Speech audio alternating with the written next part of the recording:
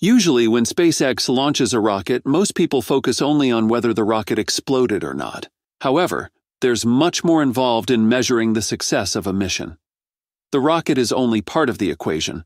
There's also the launch mount, the launch tower, and other surrounding infrastructure to consider. Developing the world's largest rocket also means building the world's strongest infrastructure, and creating this infrastructure can be as challenging as building the rocket itself. Naturally, any damage to the launch pad or tower means more than just a setback for SpaceX. Recently, images of the launch pad after the latest launch were released, and they didn't meet everyone's expectations. In this video, we will talk about these developments and discuss whether the launch pad will be ready for the next flight on time. The launch pad faced several significant issues during recent Starship launch, particularly involving the water deluge system and the ship quick disconnect. Initially, SpaceX implemented the water deluge system after the first Starship launch, which created a large crater beneath the launch pad. After this launch, Musk realized the need for a water deluge system this system is designed to protect the launch pad from the intense heat and vibrations generated during rocket launches by flooding the area with water to cool the launch pad and suppress flames. Despite this, the water cooled steel plate beneath the orbital launch mount showed significant wear after the recent launch. Post flight images revealed that the steel plate had turned yellow due to the intense heat from the rocket engines, which overheated the steel and altered its color. This suggests that while the steel plate works, it may not be durable enough for long term use. SpaceX may need to modify or replace the steel plate with one that can better handle the extreme conditions of rocket launches. For the Starship launches, this system can discharge up to 40,000 gallons of water per minute.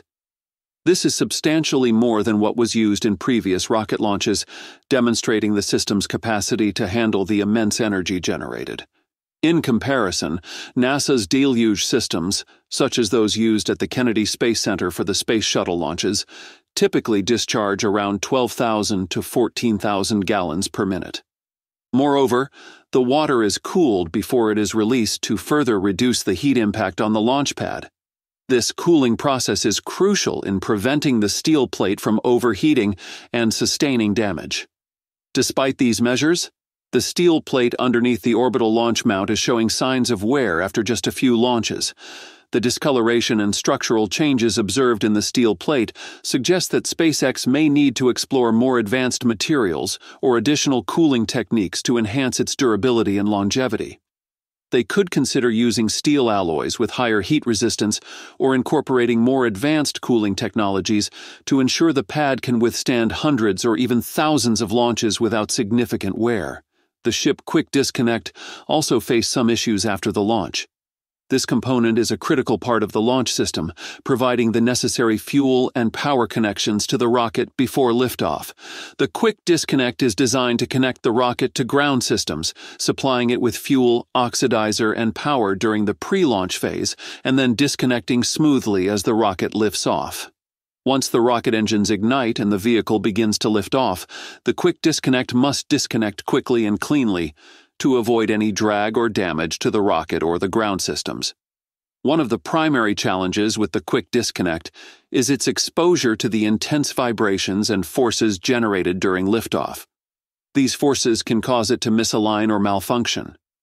SpaceX has made several adjustments to address these issues, including altering its position, changing the contact angle, and expanding its operating range. These adjustments are intended to make the quick disconnect more resilient to the extreme conditions it faces during launch. Despite these efforts, the system continues to struggle with the powerful forces of rocket launches. The strong vibrations can cause it to lose its alignment or fail to disconnect properly which could potentially damage the rocket or the ground systems. It must not only withstand these forces, but also ensure a smooth disconnection to prevent any interruptions in the fuel and power supply until the last possible moment. The Quick Disconnect system is designed with several safety features to manage these challenges. These include redundancy in the connections to ensure that if one part fails, another can take over. The system also incorporates sensors and monitoring equipment to detect any misalignment or malfunction early on, allowing for adjustments to be made before they can cause a problem.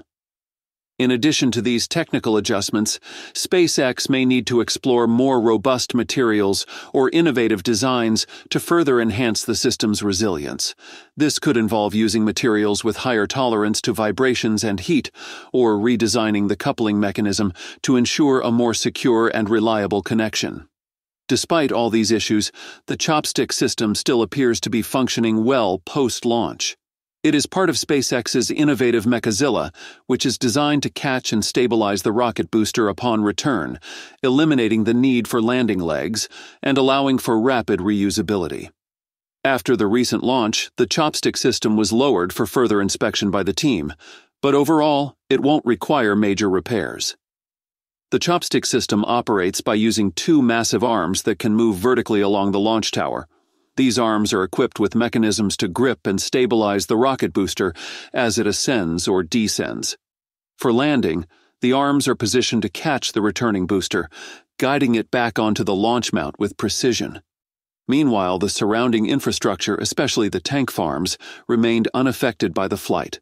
Musk is now planning to launch another Starship as soon as next month. SpaceX is implementing even more changes to the Starship in preparation for this upcoming launch. One of the most crucial upgrades involves the Starship's heat shield. In previous tests, some tiles fell off, posing a significant risk.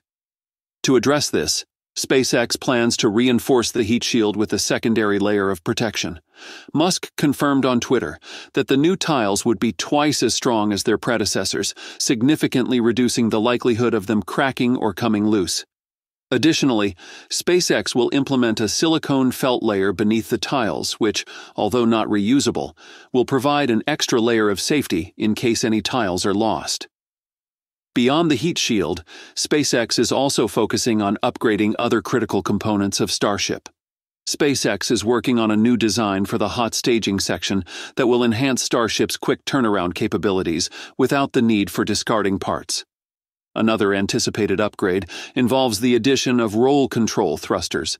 These thrusters will improve control during the landing process, reducing issues like valve clogging that have occurred in previous flights. Starting from prototype ship 29, these thrusters have been integrated into the design, and their performance will continue to be refined in subsequent prototypes. Another exciting change for the upcoming flight is the re entry profile of the Super Heavy Booster 12. After successfully landing both stages in the ocean, SpaceX now aims to catch the booster using the Mechazilla arm starting from Flight 5. This approach involves the booster steering itself towards the catch tower and has never been attempted by any other organization. If the booster detects any issues, it will divert and safely land in the ocean. This automatic adjustment ensures the safety of the launch tower while aiming for a successful catch. During the fourth flight, SpaceX used a virtual tower to simulate the catching process instead of the actual Mechazilla tower. This virtual tower test was designed to gather data on the booster's ability to navigate and position itself for a precise catch without the risk of damaging the actual tower. Musk stated that the successful execution of this virtual tower catch gave SpaceX the confidence to attempt the actual catch in the upcoming flight. Mechazilla, equipped with massive chopstick arms, is designed to catch the returning super heavy booster out of midair. These arms, attached to a 145 meter tall launch tower at SpaceX's Starbase, are engineered to withstand extreme conditions and handle the immense weight of the booster. The concept behind Mechazilla is to enable rapid reusability by catching the booster and placing it directly back on the launch mount, ready for refueling and relaunch within hours, rather than the days or weeks required for traditional recovery methods. Unlike the Falcon 9 and Falcon Heavy boosters, which land on drone ships equipped with landing legs, the Super Heavy booster is much larger and heavier. The Falcon 9, for example, stands about 70 meters tall with a liftoff weight of approximately 549,000 kilograms, while the Super Heavy booster is around 69 meters tall but significantly heavier, designed to carry much larger payloads. This increased size and weight make traditional landing methods impractical for Super Heavy, hence the development of the Mechazilla system. By catching the booster with Mechazilla, SpaceX eliminates the need for landing legs, which reduces weight and complexity. Looking at the success of the fourth flight, many experts predict the fifth flight will be near perfect and might even carry some payload to orbit. Although almost a week has passed since the fourth flight, the FAA was still reviewing the launch, and they finally released their findings. What made the fourth flight approval process different was that the FAA and SpaceX reached a unique agreement before the launch took place. SpaceX proposed three specific scenarios that would not require a mishap investigation the failure of the vehicle's thermal protection system during reentry, the failure of the vehicle's flaps to provide control during reentry, and the failure of the Raptor engines during the landing burn. The FAA analyzed these scenarios, assessed the risks, and confirmed that they met public safety requirements, subsequently approving them. This agreement meant that if any of these three issues occurred during the flight, SpaceX and the FAA would not have to conduct a formal mishap investigation. This was a significant shift from the standard procedure, where any failure typically triggers a detailed investigation. By pre approving these scenarios, the FAA allowed SpaceX to focus on the overall mission success without the potential delay of investigations. During the fourth flight, SpaceX indeed encountered several major problems. For example, there was an engine failure, loss of heat shield, and damage to the flaps. While these issues indicate that repairs and upgrades will be necessary, the pre approved scenarios mean that the FAA can overlook the engine issue, as it was part of the agreed conditions that would not trigger a mishap investigation. This streamlined process allows SpaceX to prepare for the next flight without the usual procedural delays. The issue with the flap will also be reviewed rather than investigated by the FAA. During the descent, one of the flaps failed to operate correctly, resulting in a loss of control.